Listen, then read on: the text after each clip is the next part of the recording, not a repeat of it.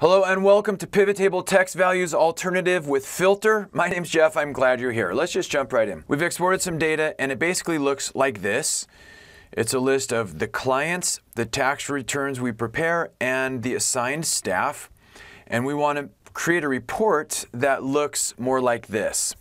So of course this is Excel. Of course there are multiple ways to accomplish this. We could use DAX and the data model. We could use Power Query. In this case, we're going to use Excel formulas. So let me go ahead and clear all this stuff out. And let's talk about creating the report labels. So the first step is to create the report labels. Um, what we want to basically do is get a list of the unique values in this client column.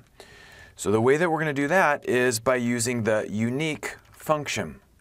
And which column has the values that we want returned. It's this column here, so we select it, close the function, hit enter, and now we've got a list of the unique client values found in the client column. If we wanted them sorted, we could simply wrap the sort function around the unique function, and that looks just fine. Now we need to create the column labels, okay? So to do that, once again, our goal is to get a list of the unique values in in this return column. So we can start with using the unique function on all of this stuff. And instead of displaying these values in rows, we actually want to display them in columns. So we want to transpose these results. So to do that, we just wrap the transpose function around the unique function, hit enter, and now we've got it. And finally, we need to get these staff uh, people into this area here. So the way that we're going to do that is with the filter function. So equals filter. Now the first argument of the filter function is the column that has the values we want returned to the cell, and that is this column, comma, and then the next argument is the include argument. That's going to be an expression that tells this function which rows or which values to include. Um, in this case, we actually need multiple conditions, but let's just take it one step at a time to get warmed up. For now, let's say we want to include those rows where the client value is equal to our client value. And let's just close this function and let's just kind of see what we get. Enter. So we get DAR, DMK, DAR. So what's going on? So DIG290 is DAR, DMK, and then there's another one, DAR. So that's why we're getting these three results.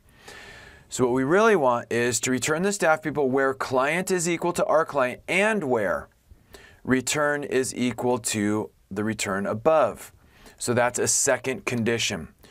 So the way that we do that, or the way that we define multiple conditions in this include argument, is by wrapping each individual condition inside a set of parens, and then using an operator. In this case, we're going to use the multiplication operator because we are using AND logic.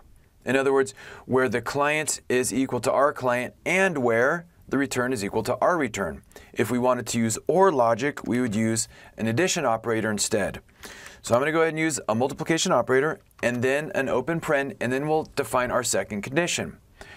So we want to return the staff values where the client column is equal to our client and where the return column is equal to our return. And then close that. Now, I can anticipate that I'm going to need to fill this formula down and right through this entire report range. So I want to take uh, care to include the correct cell reference style here. So as I fill this formula down and right, I don't want Excel to update this column reference F. So the way that I log it down is by putting a uh, currency or dollar sign in front of the F. That means as I fill it right, F is going to be locked down. Same thing here, as I fill this formula down, I don't want Excel to change this reference to row 6, so I lock it down by placing a dollar sign currency symbol in front of the row reference 6. And then finally, let's take a look at this third argument. If empty, what it's saying is if there are no staff people assigned, in other words, there's no combination of any given client return, then what do we want to send back to the cell? In this case, we'll send an empty string simply by adding a pair of quotes like this. Now I hit enter And now I think we've got the correct combination here. We have DAR and DMK, um, but there are still multiple results. And what we want to do is combine these results into a single cell. So they fit into a single cell. Um, and so we're going to create a comma separated list of these values. So all we need to do to do that is wrap the um, array to text function around the filter function. And then we hit enter and now we get this. This is looking good. And as a side note, if we wanted to use a delimiter other than a comma space, Rather than using array to text, we would use text join because that function allows you to specify a different delimiter like a colon or dash semicolon. You get the idea. And now I need to basically copy and paste and paste. And I think we got it. And now we can apply some cosmetics if we want. We could go and type in client.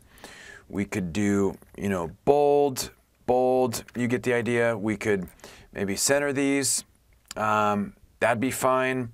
Uh, we could do some, you know, cell borders and whatnot, but but basically that's those are the, the formulas and functions that we need to get this done. So anyway, hey, hopefully it was helpful. Thanks. Have a great day. If you enjoyed this video, please subscribe and be sure to turn on notifications so you won't miss our new Excel videos. If you'd like to receive free weekly Excel tips delivered to your inbox, please sign up for the Excel University blog. If you'd like to learn more about our structured on-demand Excel training programs, please check out the Excel University website. All skill levels are welcome. This video is a production of Excel University.